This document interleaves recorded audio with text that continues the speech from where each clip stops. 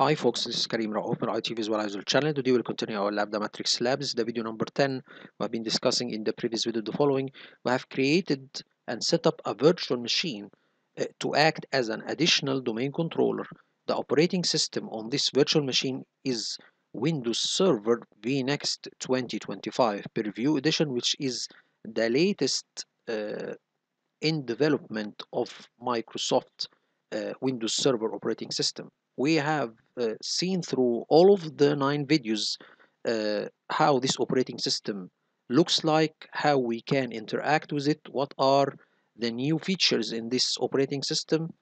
Uh, so we have seen a lot concerning this operating system. We have created a, a, primary domain controller on this operating system. We have done a lot of things. We have created group policies. We have done Uh, we have uh, uh created uh, a group policy center store location and add the different group policy templates. So we have done a lot of things actually. So the previous video we have created the additional domain controller and we are planning in the future to add more roles on this virtual machine. We need to add a DHCP role we need to add a WSUS role we need to add a file server role. So we can see the different or the famous roles in any multinational organization, how we can set them up, how we can uh, uh, set uh, them according to the best practices. We will see how this will be done through the upcoming videos and today actually and we will see how this will work on the new operating system of Microsoft. So we will see that and I will try to use the AI tools during our journey. We have seen that we are working currently with Claude 3 and ChatGPT 4 and I will add to the mix a new tool. Actually it's not a new one but I didn't work on it before. It is Perplexity which is very very good searching tool. Maybe it's not uh, a good AI tool like ChatGPT or Claude 3 but no it's in searching it is very very or it supersedes uh, uh, ChatGPT 4 and Claude 3 in its searching capabilities. So we will see today actually when we're working on how to configure the DHCP, what are the answers of Perplexity and how its answers is much more uh, uh, rich than ChatGPT 4 or Claude 3. So let's go and begin our lab. Today we will go and begin uh, the installation of the DHCP server. So this is the first role we need to focus on and then we will work with the file server. Okay, so this is our additional domain controller one of the recommendations is not to add DHCP to the domain controller. So the domain controller should be separated than the DHCP. You should not install DHCP and domain controller on one server, okay? This is one of the best practices, but if you have limited number of servers, so this will be the case, or this you can work with this scenario. You can install the primary domain controller separately on a server without any additional roles installed on the server, then you can install an additional domain controller on another server and put on it additional roles like the DHCP and file server and WSUS and this is implemented in my work environment. And this is a best or this is a one of the uh, real scenarios in the world. You can work with this scenario okay? But if you have enough servers then it should be or, or the best solution is to install the additional domain controller separately on a server the DHCP separately on a server the file server separately on a server the WSUS separately on a server. If you plan to put all on one server then you should have enough hardware resources you should have uh, uh, enough storage hard disk for the file server enough RAM for the WSUS because it is RAM eating service service okay? You need to uh, have a good backup plan for this server okay? Because it contains a lot of roles uh, uh, actually a lot of roles and you need should have a disaster recovery plan if this server fails up because it's act or it will act as a single point of failure. So you need to make sure that you have all of these considerations in mind if you plan to have uh, more roles on one server. So let's begin our video. Now we will open the additional domain controller. Now we will see this is the uh, interactive message. Okay now we will log in with the additional uh, so log into the additional domain controller using using my uh, domain admin account.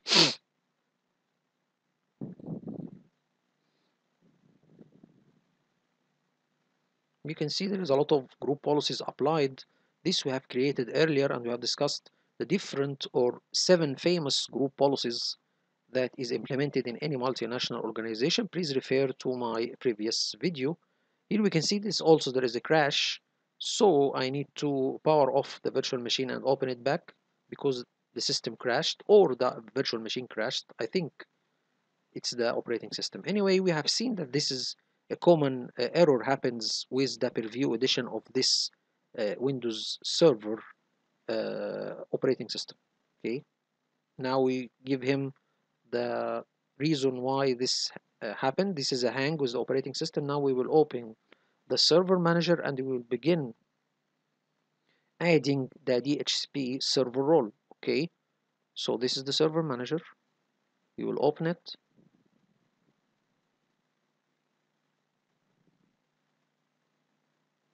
it's very very simple. The uh, configuration will be very simple. We will just add the role and then begin creating the different options in the DHCP we will configure the scope IP scope.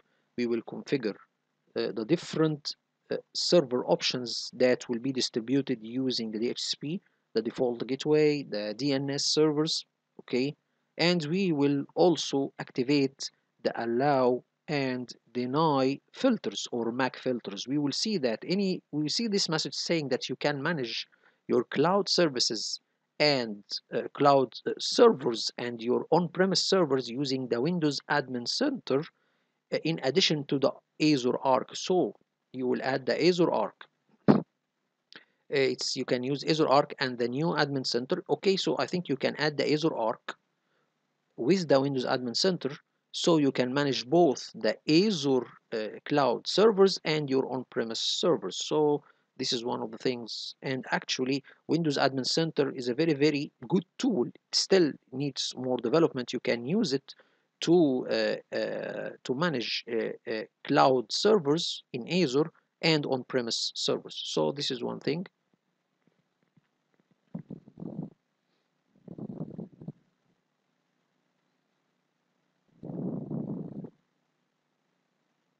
so now we will see here this is the dashboard. This is a very very critical uh, item. You should uh, revise it regularly to see uh, what will happen.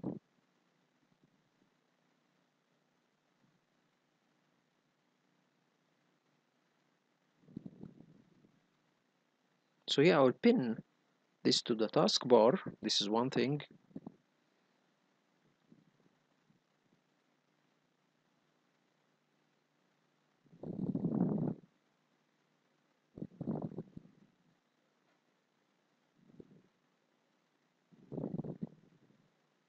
you will see here this is uh, if you see a red uh, warning here this means that there is something wrong. You need to check. For example here is saying that you see a service that is not running which is inter-site messaging.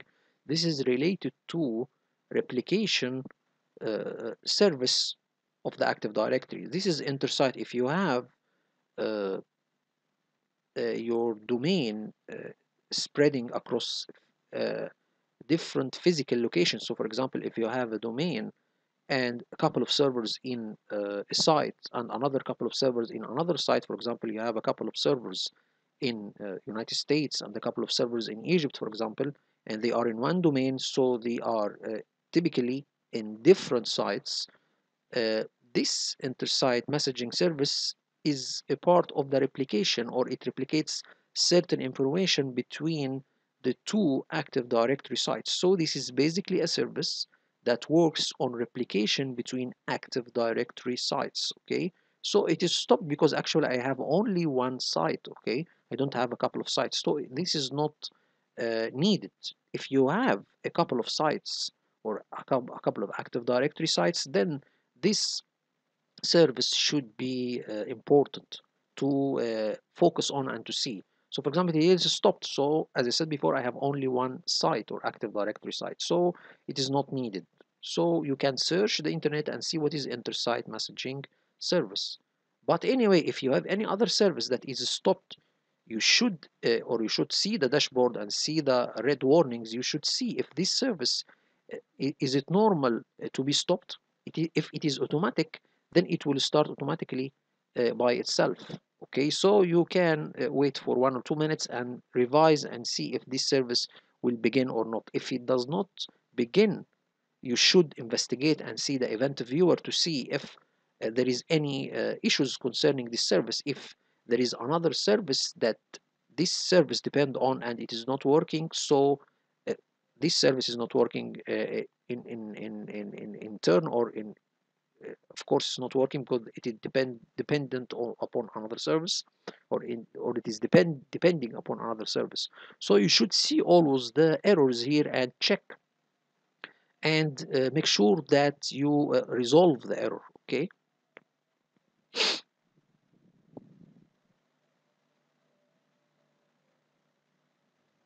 So here I will just start the service even though I don't need it but just to make this error uh, disappear.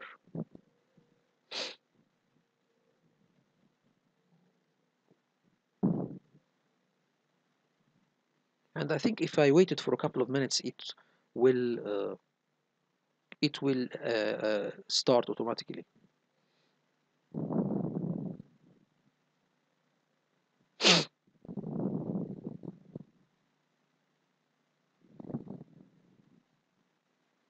so now what we need to do we need to add roles and features okay and then we will begin the uh, installation of the DHCP next next.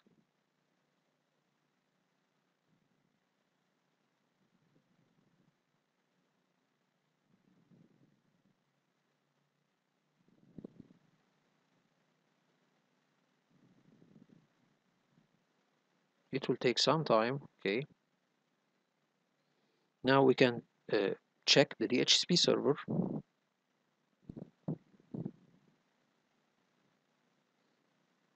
And then next we will add the features. Then next then continue. Okay.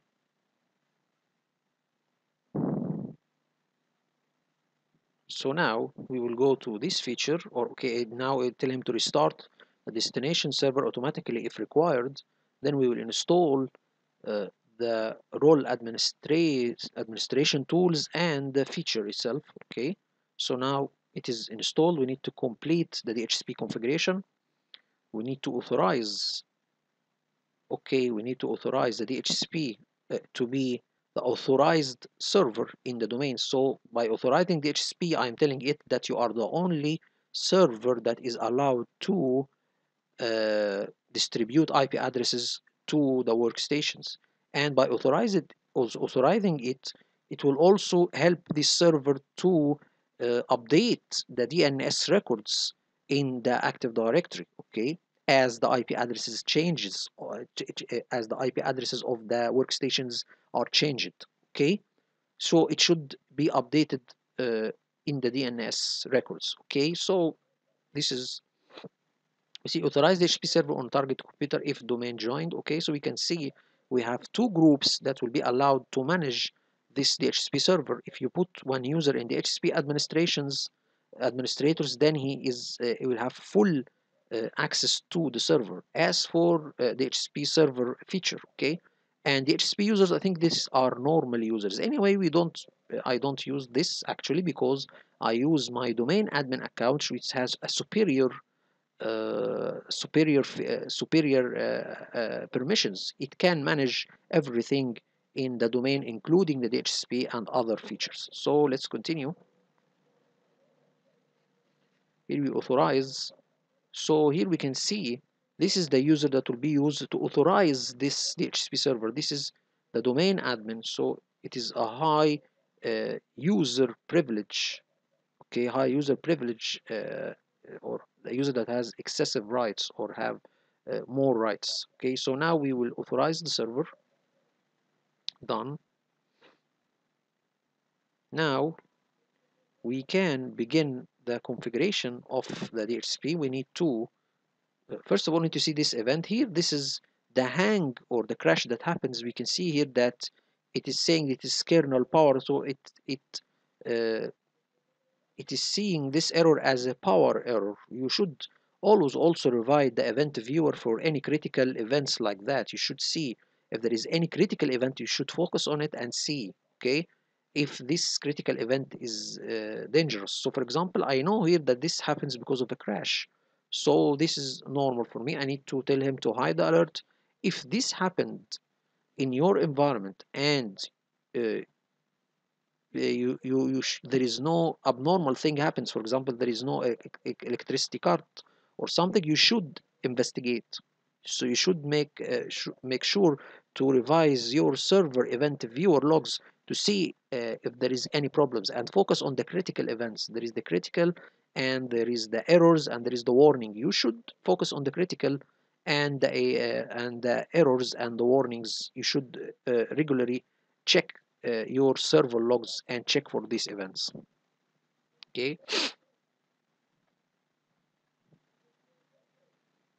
So here we will see this is the alert. And by the way from this server manager you can manage the local server and you can manage remote servers. So you can add in the server manager for example you can add the domain controller the primary domain controller to this server manager. So you can manage the additional and the domain from one server manager console. You can add all of the servers here and you can manage them. It is something like the windows admin center.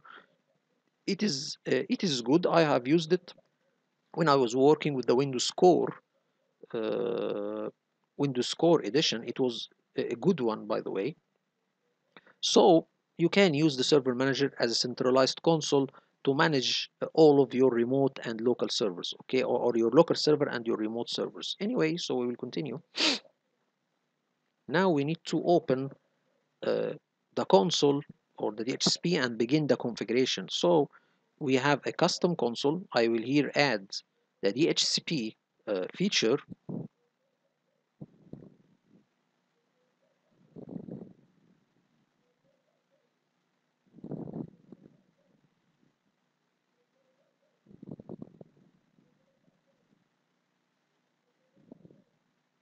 so here we will open the console and then begin. Here we will add the DHCP console to our uh, custom console and then we will begin the configuration of the DHCP here we can see this is the DHCP okay. I will configure it and then ask the AI what are the best practices when creating the DHCP you will see the different AI answers and we can benefit from these answers to make a, a best uh, practice configuration for our DHCP. Now, I think I need to go and uh, maybe check the Windows updates or add a couple of icons to my desktop. Okay, maybe the control panel icon, I think.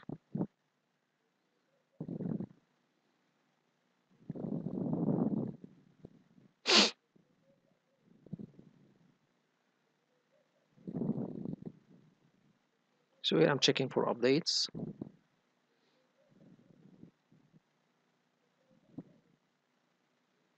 Here we need to uh, configure, we see this IP version 4 and IP version 6, and then we need to, to configure the scope, the IP address scope that will be uh, be distributed. Now we tell him new scope, and then this will be our workstation scope. So we have servers, servers will be assigned static IP addresses, and the workstations will be assigned automatic IP addresses. So we say matrix workstation so this is for the workstations. You can configure scope for the mobiles, for example. And this will be having a different setting. Okay, we will see that when we see the AI recommendation, uh, it will talk about DHCP and the mobile uh, devices. Okay, so here we have matrix workstation scope, and then we will the start scope. You need to make sure that uh, there is a couple of addresses reserved uh, for the static uh, for example, if you have servers, you will need to uh, exclude some of the IPs to be added statically to your servers or your print servers, for example. So here I will begin distributing IP addresses from uh, 7920. Okay, you can see that uh, I am beginning from 20, not from 1, because from 1 to 19 it is reserved for my servers and uh, print servers. Okay, they will be assigned statically. So I'm excluding from 1 to 19. I will begin distributing from 20 to 200. So here I have about uh, 180 IP addresses and the rest also uh, I will exclude it as I said before for the servers and the print servers. So we will see here this is the scope and this is the subnet mask so this depends upon your workstation numbers here this will uh, differ according your uh, according to your needs. Here we can see exclude. If you need to exclude some range from the 20 to 200 to exclude them you can tell him to exclude a couple of IP addresses from this range. Anyway we don't have any exclusion. Here the lease what the IP will uh, will be held by the workstation for how much time? For eight days. Okay this is the default uh, lease time here I tell him to configure the options. Now we need to tell the DHCP the default gateway so it will distribute it to the workstations so they can access the internet. Now we have 192.168.79.2 this is the gateway. Then it will automatic, automatically get the DNS servers so this will be distributed to the workstations so they can communicate with each other efficiently and uh, they can access the internet as well. We have uh, set up DNS forwards on our DNS servers. So this is very very critical the DNS and the gateway to be distributed to the uh, the workstations. And if you have WINS this is uh, an old version of DNS or this was a replacement or the WINS was uh, acting as a DNS but now it is uh, depreciated or uh, almost not used in any uh, environment because the DNS server is the new version of WINS okay? Anyway so now we need to activate the scope and then finish and then we need to uh, activate two options here.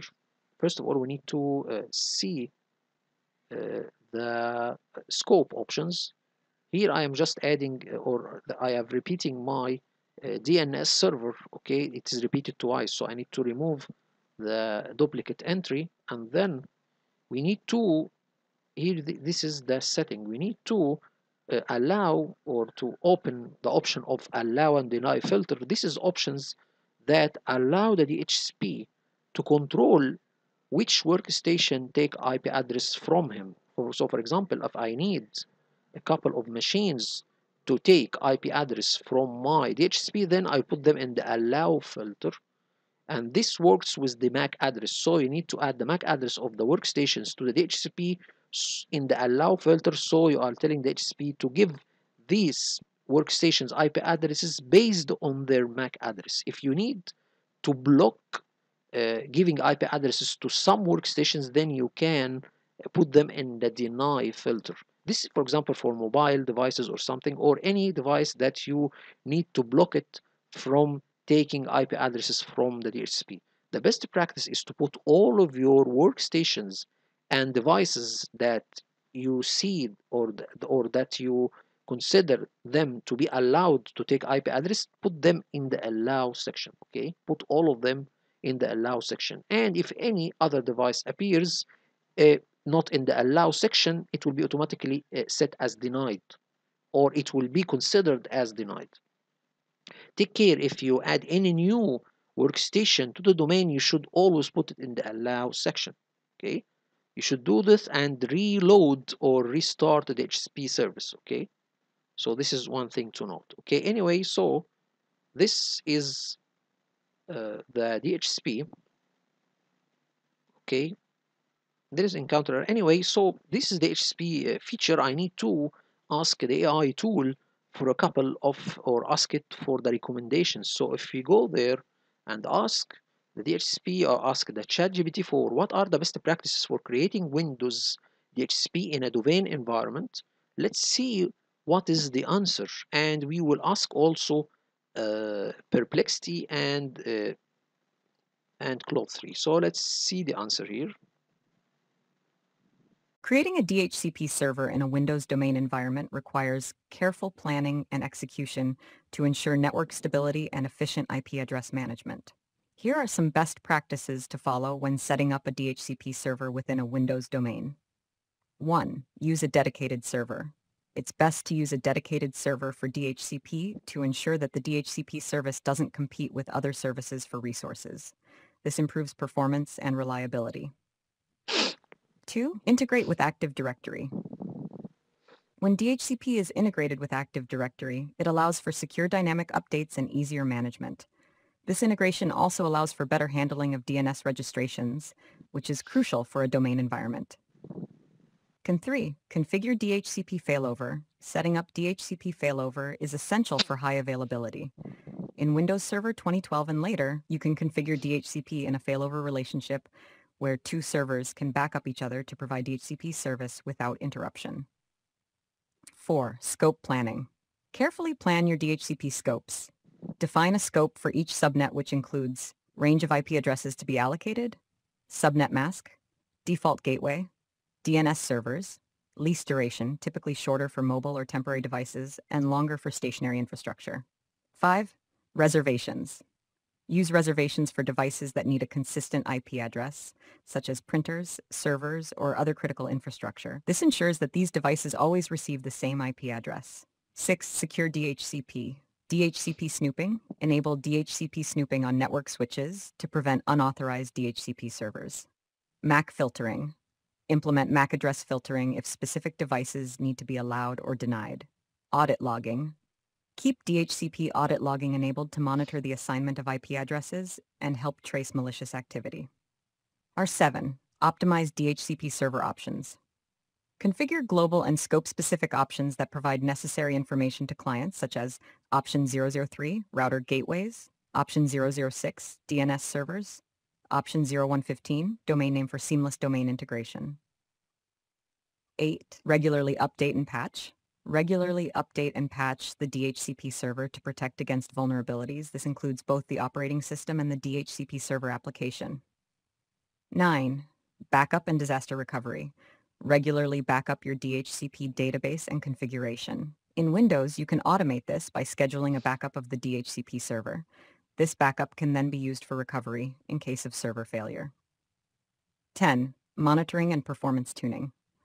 Monitor the DHCP server's performance and utilization regularly. Check metrics like address pool exhaustion, renewal success rates, and error logs to adjust configurations as needed.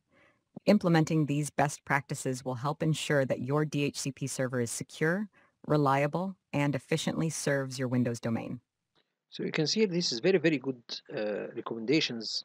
For example, for the backup and disaster, you can backup the DHCP database through the PowerShell. So you can uh, make a schedule task uh, to run a PowerShell script to backup the database of the DHCP and it can be uh, saved to a secure location. So this is this can be done easily and I actually have done it before in my Terminator lab when I was transferring or migrating my DHCP. Okay, so regular updates, this is normal, you can do that. One thing here I need to ask the AI how we can audit DHCP, what are the logs or how we can uh, uh, can activate the audit logging, how we can this. And I need also to ask it about uh, DHCP snooping. What is DHCP snooping? I need to ask about this option. But anyway, first, let's uh, go to the second question. What about explain the audit logging in secure uh, secure DHCP? Give me technical steps how to so I can how I can audit the DHCP. What are the options and where to activate it? So let's see this step and how it is done. As we see, very, very detailed answer and a good answer actually. Let's go and see. In a Windows environment, enabling DHCP audit logging is important for security and compliance as it helps you keep track of all the IP address assignments and other DHCP-related activities. This log can provide valuable information about the server's operations and can be essential for troubleshooting or monitoring for suspicious activities. Here are the technical steps to enable and configure DHCP audit logging on a Windows server. Step 1. Enable DHCP audit logging. DHCP audit logging is enabled by default in Windows Server. However, it's good practice to verify that it is active and configure it as per your requirements. To check the status and manage settings, follow these steps. 1. Open DHCP Management Console. You can access this by typing dhpmgmt.msc in the Run dialog, Windows key R. 2. Navigate to your DHCP server. In the DHCP console, expand the server name to see the list of configured scopes. 3. View audit logs. To check if the audit logging is enabled and to view logs, go to the folder where DHCP logs are stored. typically C Windows System 32 DHCP. Step 2. Configure log file settings. To manage the settings of DHCP log files, 1. Open DHCP server properties. Right-click on the DHCP server name in the DHCP console and select Properties. 2. Go to the Advanced tab. Here, you can adjust the settings related to audit logs. 3. Configure audit log file path and size. You can change the location of the log files if needed and specify the maximum size of the log file. The default maximum size is 10 megabyte, but it can be increased if more extensive logging is required. Step 3. Review and manage DHCP logs. The DHCP server logs events daily, and the logs are stored in files named DHCP serve log log. Each log entry includes details such as the date and time of the event, the IP address leased, and the MAC address of the client. To analyze these logs, 1. Navigate to log files. By default, they are located in C Windows System 32 DHCP. 2. Open and review logs. Use a text editor or log analysis tool to open and review these files. Look for event IDs and descriptions to understand what actions were taken by the DHCP server. Step 4. Regular monitoring. Set up a regular schedule to check these logs, or use automated tools to alert you about unusual activities. This can include a high number of failed leases, unusual lease durations, or requests from unknown MAC addresses. Step 5. Backup log files. Regularly backup your DHCP logs to secure storage. This ensures that you have historical data available for audits or investigations. Step 6. Integrate with SIEM tools. For advanced monitoring, integrate DHCP logging with security information and event management SIEM tools. These tools can help correlate DHCP logs with other security logs, enhancing your network's overall security posture. By following these steps, you can ensure that your DHCP server's audit logging is not only enabled, but also configured properly to provide the necessary insights into your network's IP address management and security. So you can see here how we can uh, see the logs and where to get them. And another additional point, you can see the event viewer and see the DHCP event uh, IDs. But this is one good explanation how we can uh, enable uh, DHCP logging and where to get the logs. Another point I asked him to uh, verify monitoring and performance tune up. So how we can monitor the performance of the DHCP, how this can be done, where to get this monitoring tool, how we can activate this monitoring tool. So I asked him another question, how we can uh, explain uh, point 10 monitoring and performance tuning, give me technical steps how to do that. So let's see how we can monitor the performance of the DHCP. So let's see the answer.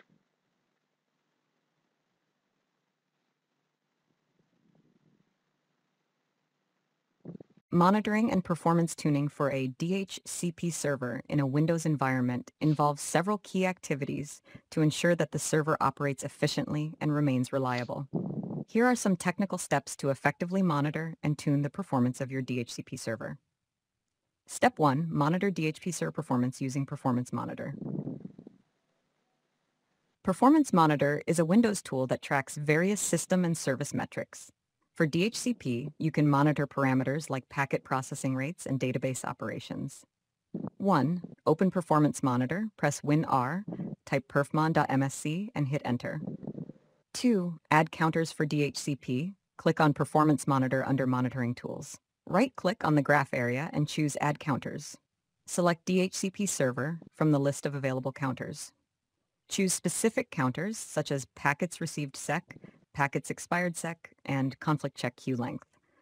Click Add and then OK to start viewing the data. Step 2. Review DHCP server logs for errors and warnings. Regularly review the DHCP server event logs to identify any unusual activities or errors that could indicate performance issues. 1. Access Event Viewer type eventvwr.msc in the Run dialog. 2. Navigate to DHCP logs. Go to Windows Logs, System. Filter the current log by the DHCP server source to find relevant entries.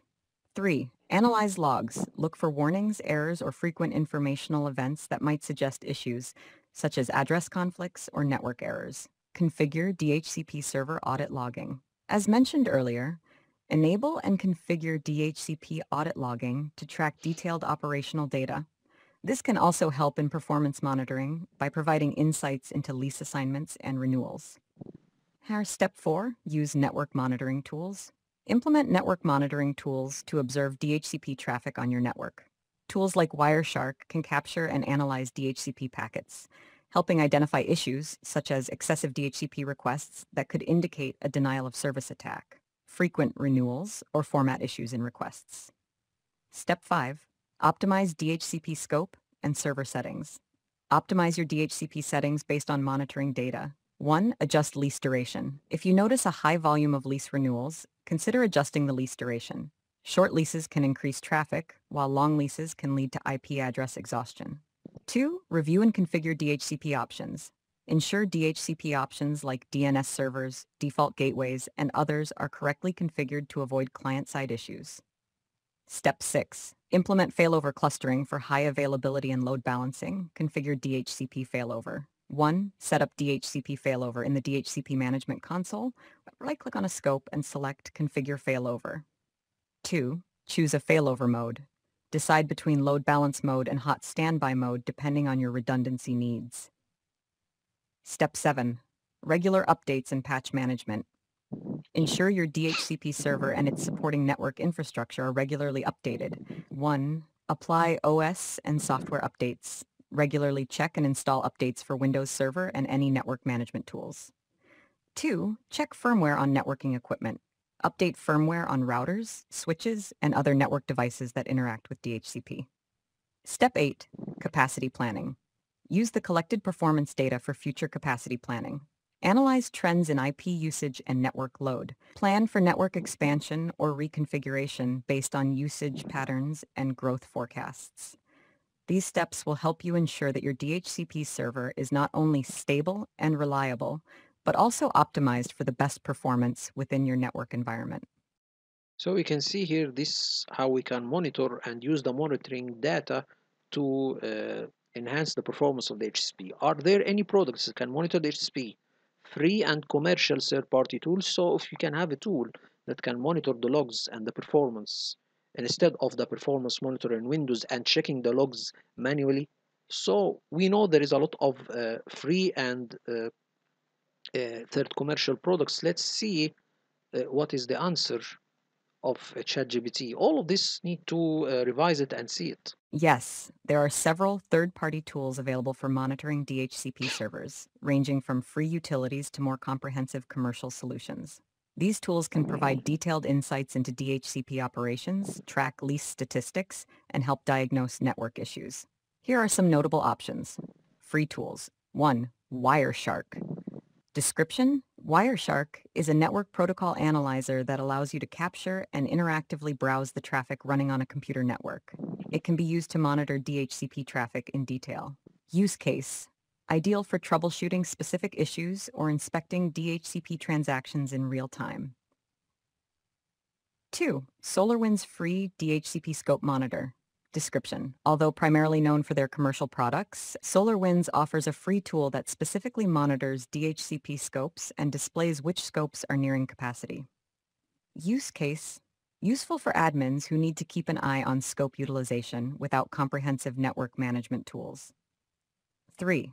Microsoft Network Monitor. Description. Network Monitor is a deprecated tool, but still available for download. It can capture network traffic and analyze DHCP communications. Use case, good for organizations using older systems or those looking for a no-cost solution from Microsoft. Commercial tools. 1. SolarWinds IP Address Manager IPAM. Description. This is a comprehensive DHCP, DNS, and IP address mm-hmm. management tool. It integrates monitoring and management of DHCP scopes across multiple servers. Features. Automatic IP tracking, DHCP DNS management, and reporting capabilities. Use case. Best for medium to large organizations needing robust, centralized IP management. 2. Manage Engine OpUtils. Description. OpUtils offers real-time monitoring and management of IP addresses and switch ports, including DHCP scopes. Features. IP address and switch port management, rogue device detection, and bandwidth monitoring. Use case. Suitable for businesses that need integrated tools for managing network resources. 3. Infoblox IPAM and DHCscription.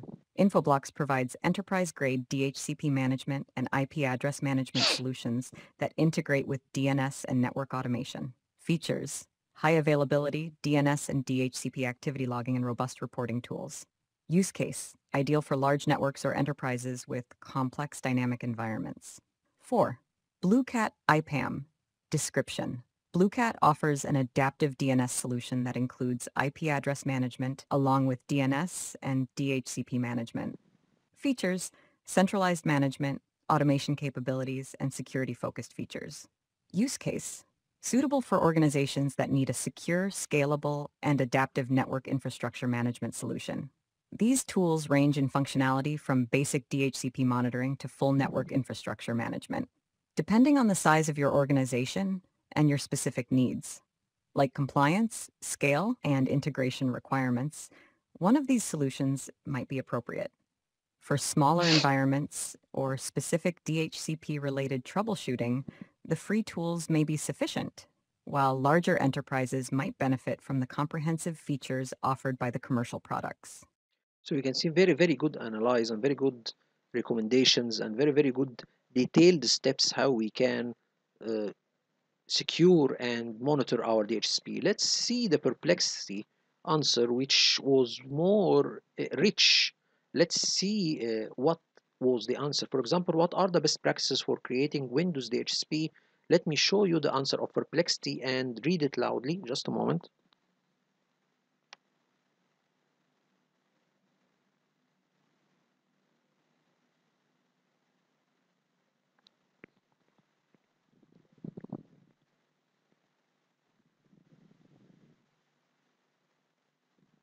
The best practices for configuring a Windows DHCP server include several key recommendations from the sources provided.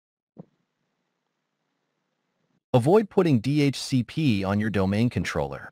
It is advised not to put DHCP on your domain controller to ensure better server performance 1. Use DHCP failover Implement DHCP failover to ensure redundancy and load balancing for DHCP servers 1. Central versus distributed DHCP server. Consider whether a central or distributed DHCP server setup suits your network better one. Avoid static IP assignments. Instead of static IP assignments, use DHCP reservations for better management one.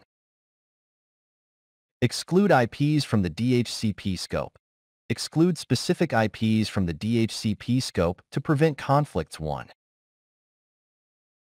Document IP addresses or use an IPAM. Properly document IP addresses or use an IP address management IPAM tool for efficient management 1. Use DHCP relay agents. DHCP relay agents help in forwarding DHCP requests and responses between different network segments 3. Backup DHCP server. Regularly backup the DHCP server configuration to ensure quick recovery in case of system crashes 13. DHCP MAC address filtering. Utilize MAC address filtering to control IP address assignment based on MAC addresses 1. Run DHCP Best Practice Analyzer. Use Microsoft's Best Practice Analyzer tool to check DHCP configuration against Guidelines 1. By following these best practices, you can optimize the configuration and management of your Windows DHCP server for efficient network operation and security. So you can, this is a more, more rich answer. And we can see that if we go there, he give us a lot of sources they, he combined them uh, in 10 uh, recommendations. But here I see one of these uh, sources which was giving 16 best practice which was very very good.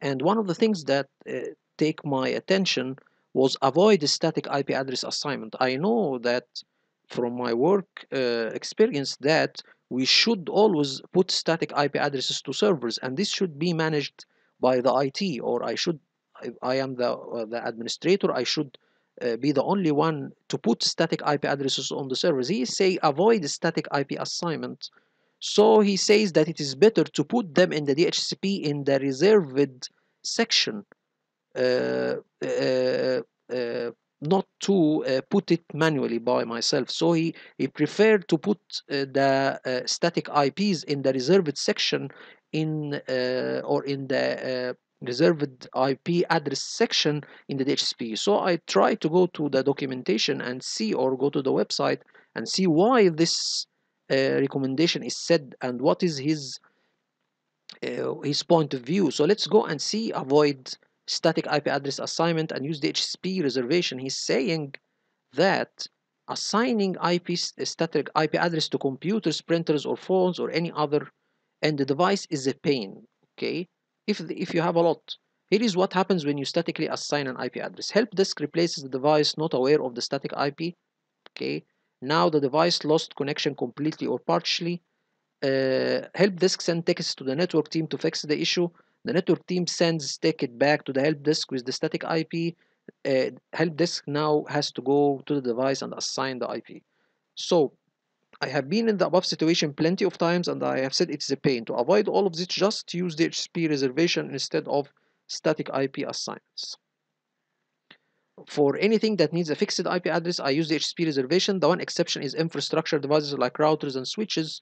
Those get static IP address. Uh, a good view or good point of view, but uh, I have small number of IP addresses and I remember or static IP addresses I remember them so this is basically simple to remember and if the DHCP is down how this IP address can be reached or can be taken if the DHCP is completely down so the static IP address it is a good uh, uh, thing to do okay I prefer the static way uh, not to put it in the reservation section. As I said before, if the DHCP service is down, you will not be able to take this IP address. Okay, saying that this should be done or to the routers and switches, but this is another point of view that you can consider. But I prefer the static one. Okay, so another point also that took my attention, run the DHCP best uh, practice analyzer. I didn't use it actually, but uh, this is a good option and it is good to use uh, uh, the uh, Microsoft uh, guidelines to see your DHCP. Microsoft Best Practice Analyzer is a tool that checks the DHCP configuration against Microsoft guidelines. The Best Practice Analyzer is built into Windows Server and this is how you can reach it. You go to the DHCP and then run the BPA. This is the Best Practice Analyzer. Then you can run it and then it will take or will get uh, results and then you can see here uh, what are the BPA scanner should help discover any misconfigurations, review your results, and make uh, any changes you feel necessary. Okay, so this is one thing. This is very good. You can check the documentation, by the way, or check the website. This is very, very good. Uh, but this is uh, uh a summary, and we can see here that there is a lot of uh, sites you can revise, but here the perplexity is summarizing these and giving you how you can access them by uh, clicking on these numbers okay?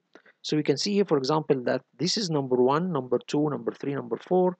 So this recommendation is from website number one or this. And we can see for example uh, that for example number uh, three. This is from the website number three target tech target. So we can see very very simple to follow so here I'm asking him to explain in simple terms because this was a little bit uh, technical, so I needed to be summarized in a simple term. So let's see what was the answer of perplexity.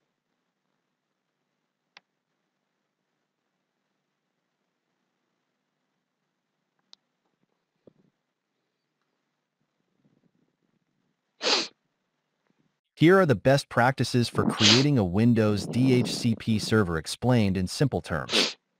Don't mix DHCP with domain controller. Keep your DHCP server separate from your domain controller to ensure better performance. Make DHCP servers redundant. Set up multiple DHCP servers to ensure that if one fails, another can take over. Choose central or distributed DHCP. Decide whether to have a single central DHCP server or multiple distributed servers based on your hmm. network's needs. Use DHCP reservations instead of static IPs. Reserve specific IP addresses for specific devices instead of assigning them static IPs. Exclude IPs from DHCP scope. Exclude certain IPs from the DHCP scope to prevent conflicts. Document IP addresses or use IPAM. Keep track of IP addresses or use a tool to manage them efficiently. Use DHCP relay agents.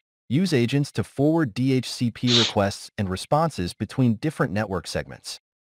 Backup DHCP server. Regularly backup your DHCP server configuration to ensure quick recovery in case of system crashes. Control IP address assignment with MAC filtering.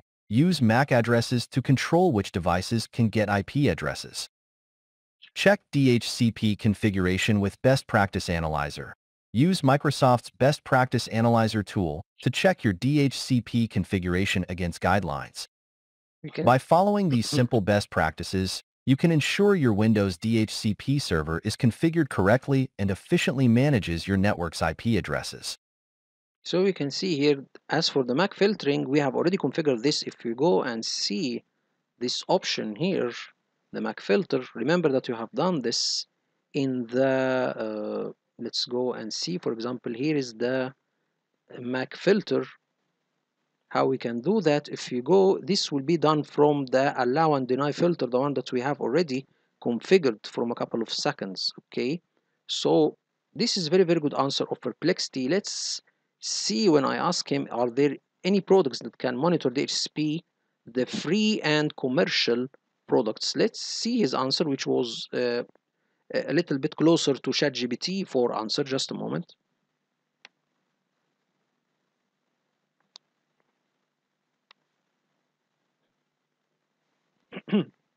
Yes, there are products available that can monitor DHCP servers, both free and commercial third-party tools. One such tool mentioned in the search results is Paessler PRTG, which is highlighted as a favorite DHCP monitoring tool due to its comprehensive features and ease of use. PRTG offers built-in sensors that cover various network monitoring needs, including DHCP server monitoring, without the need for additional purchases. It is extensible, allowing for the deployment of third-party sensors or custom sensors to meet specific requirements 1. Additionally, ManageEngine OpUtils is another tool that provides DHCP monitoring capabilities. OpUtils offers active monitoring, integration with Active Directory, real-time DHCP scope monitoring, automated reports, and instant alerts for effective troubleshooting. It supports popular DHCP servers like Microsoft, Palo Alto, Linux ISC, Cisco, and Fortinet. OpUtils is available in both free and professional editions, with the free version offering 11 tools, including a DHCP scope monitor. 1.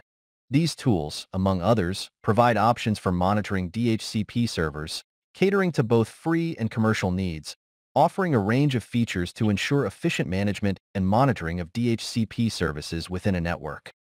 So you can see a very, very good answer. And here what I have done, I have taken this website or this, this page and asked ChatGPT to summarize it and give me a, a summary. So he's saying here, let me see or what he does he say about this uh, article.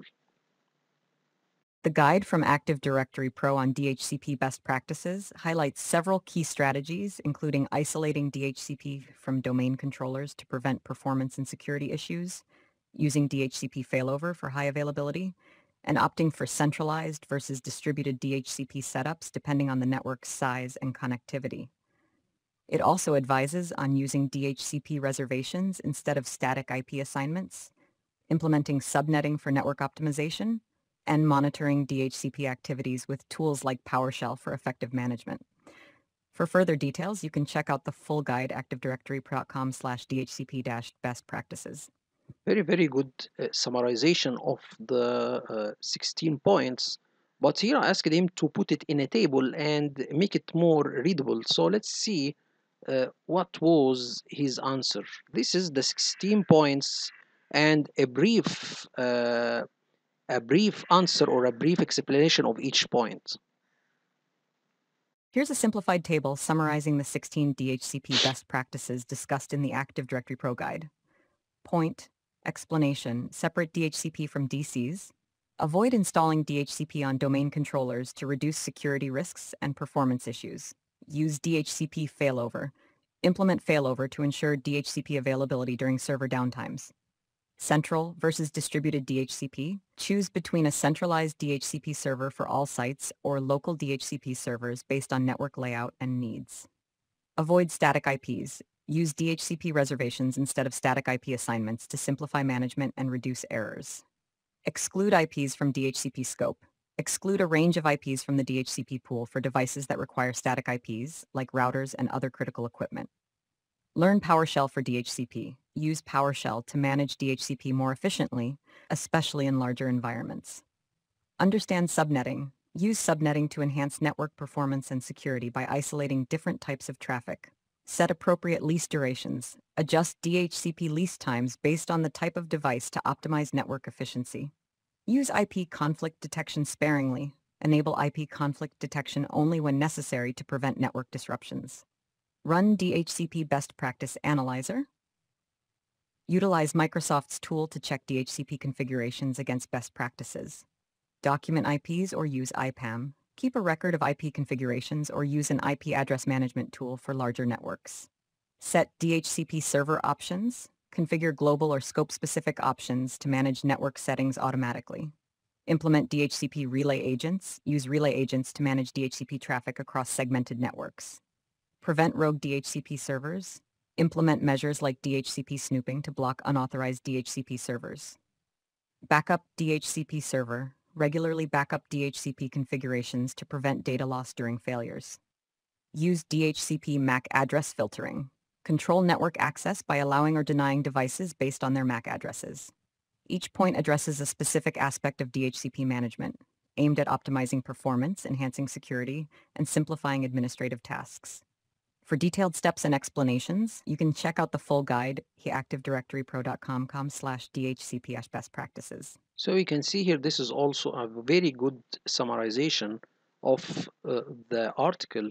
And we can see here also the perplexity uh, has another simple one. So we can see that different AI tools answers are uh, completing each other. But here I, I when I uh, see this article here say that 20 thoughts on the top 16 best practices. I see some uh, comments. Some of them are uh, criticizing that the DHCP and domain controller should be on one servers. One say that you can put DC and HCP on one server. So I asked the AI to analyze these comments and see uh, if they are correct or not because this is completely criticizing that uh, you should separate DC from the HCP but here this was the answer of ChatGPT.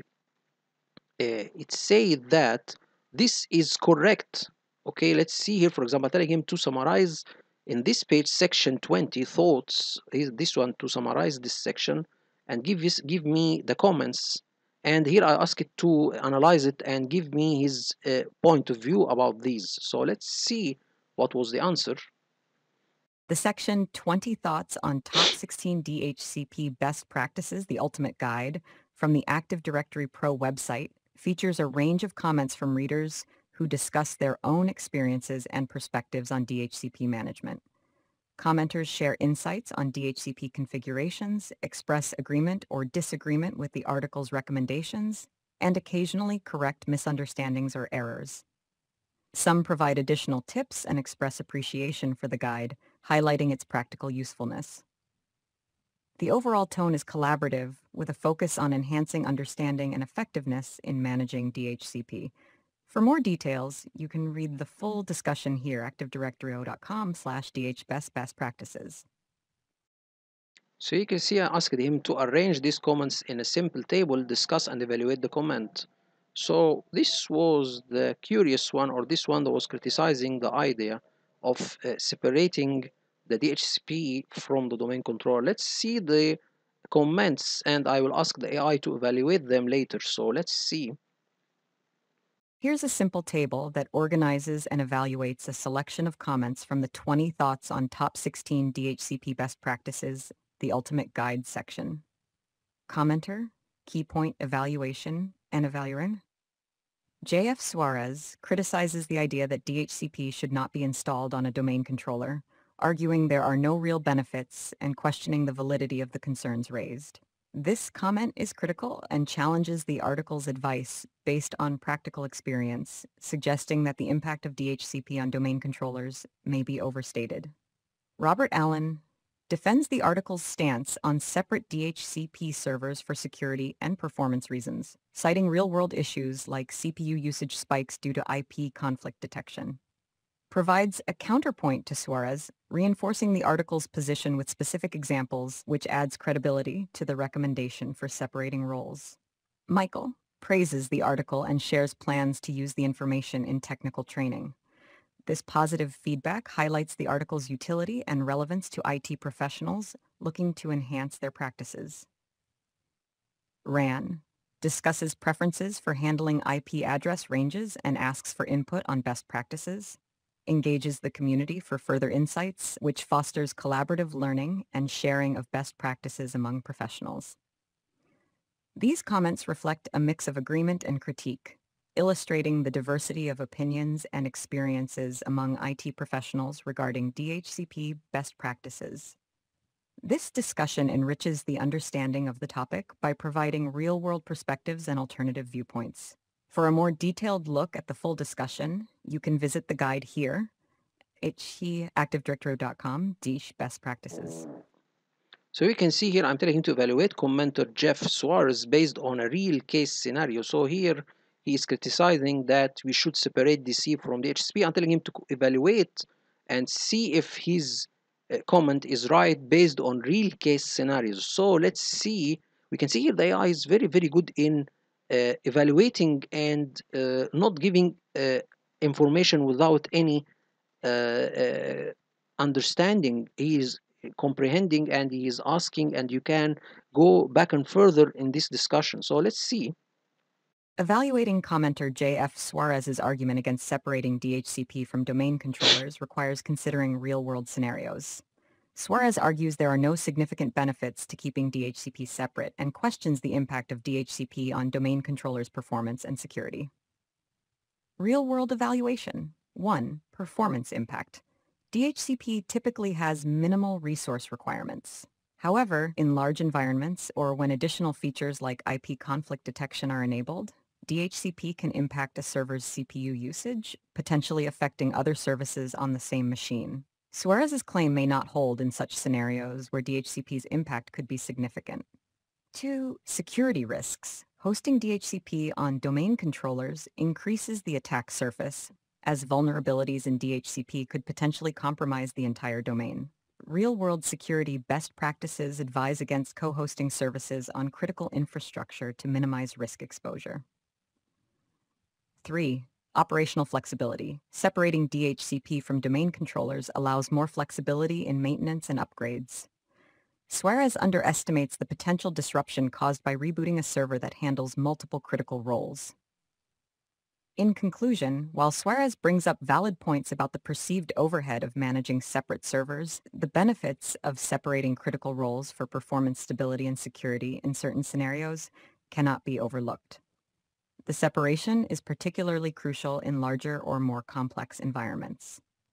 So this is very good uh, evaluating of the answer and I prefer to separate the DHCP from the D from the domain controller. This is a good thing, not a bad thing. So this was the answer of perplexity, the answer of ChatGPT. Let's go to Claude, the last one. We will see what is his answer and uh, we will stop at that point the upcoming video we will begin uh, configuring the file server and see also the best practices concerning this uh, server feature. Just a moment.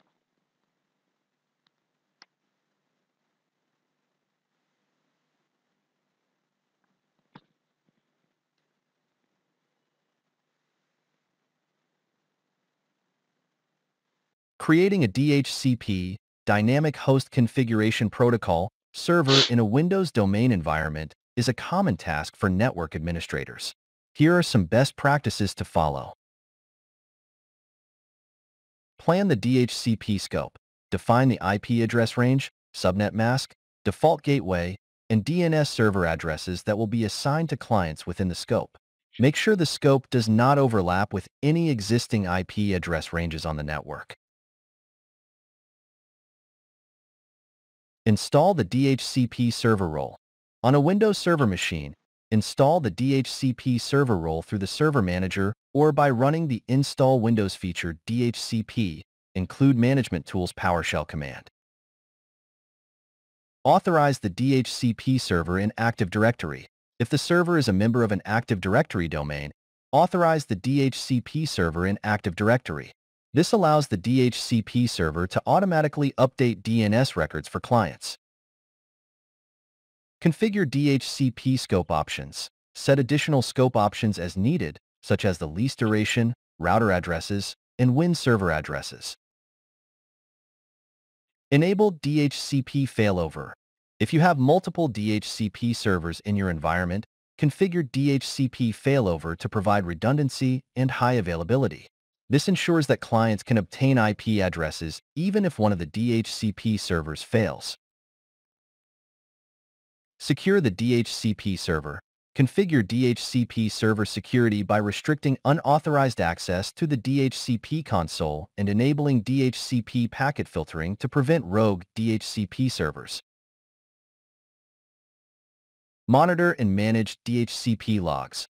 Regularly monitor DHCP server logs to identify potential issues, such as address conflicts or lease exhaustion. Use the DHCP console or PowerShell templates to manage and maintain the DHCP server.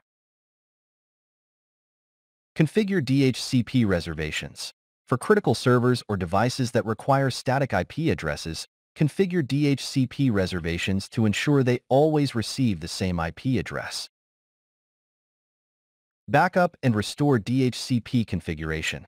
Regularly backup the DHCP server configuration to ensure that you can restore it in case of a failure or disaster. Document the DHCP configuration. Maintain detailed documentation of the DHCP server configuration, including scope settings, reservations, and any custom options or settings. By following these best practices, you can ensure that your DHCP server is properly configured secure, and manageable within your Windows domain environment. So I will not evaluate the answer until give you the last question. So we will ask him another question and then I will uh, tell you guys which answer I prefer in in in in in I will rank them okay so let's see what was his answer are there any products that can monitor DHCP free and commercial third-party products. Let's uh, ask him this question. Just a moment.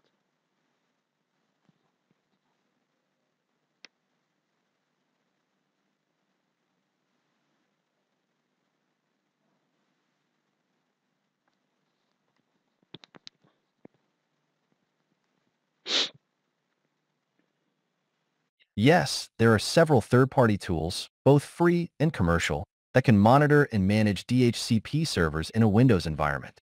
Here are some popular options. Free tools.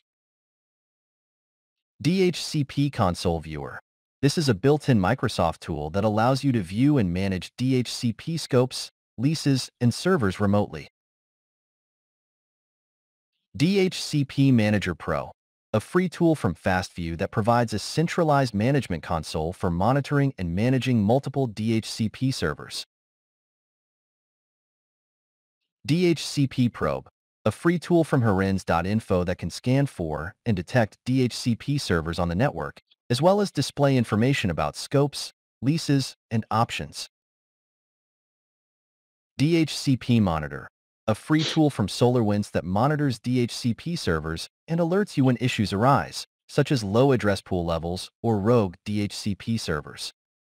Commercial tools. SolarWinds IPAM, IP Address Management, a comprehensive IP address management solution that includes DHCP monitoring, management, and reporting capabilities. Manage ManageEngine OpUtils, part of the OpUtils suite, this tool provides centralized DHCP server monitoring, management, and reporting across multiple domains and locations. Infoblox DDI, DNS, DHCP, and IP address management a robust solution that offers DHCP monitoring, management, and automation, along with DNS and IP address management capabilities. Sapien DHCP Monitor a dedicated DHCP monitoring tool that can monitor multiple DHCP servers, track lease usage, and generate customizable reports. Efficient IP SOLID Server, a DDI solution that includes DHCP monitoring, management, and automation features, along with DNS and IP address management capabilities. These tools can help you monitor DHCP server health, track lease usage, identify conflicts, and manage DHCP configurations from a centralized interface. Some tools also provide reporting and alerting features to help you proactively identify and resolve DHCP-related issues. When choosing a tool, consider factors such as your environment size, budget, and specific monitoring and management requirements. It's also a good idea to evaluate the tool's ease of use, scalability, and integration with your existing systems. So if I will rank the answers, the first or the best answer was from Perplexity. I can see this is very, very detailed and very, very uh, rich answer. The second one will be for ChatGPT and the last one will be for Claude. It's not that much, but it gives us some info. But anyway, we can see here that we have taken uh, or we have seen how the DHCP can be configured practically and what are the best practices and how we can implement these best practices. And any point in these answers for example if you see any point in ChatGPT that you need to uh, apply technically you can ask him to give you the technical steps to apply that. So this is very very simple. You can ask even perplexity how to do that and the same for Claude. So you will have when you consider uh, configuring the DHCP, you can first uh, plan it carefully and ask the AI or, uh, or uh, get recommendations from the AI about your planning if it is correct or you need to add additional steps. So uh, I will stop at this minute in the upcoming video. This is minute 14. I, in the upcoming video, I will begin uh, an installation of the file server feature. So we will have this server to be a file server.